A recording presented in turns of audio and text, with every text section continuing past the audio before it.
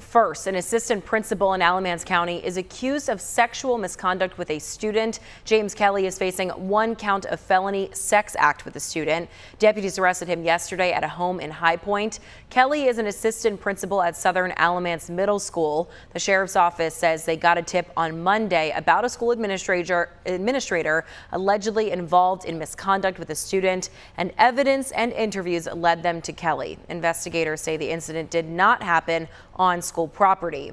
Alamance Burlington Schools did put out a statement in response to this arrest. A spokesperson says the district is cooperating with law enforcement and, quote, we are deeply troubled by the recent arrest of one of our assistant principals for alleged misconduct with a student. Protecting our students is our top priority. While we must let the legal process unfold, any such allegations represent a profound breach of trust with our ABSS community, end quote.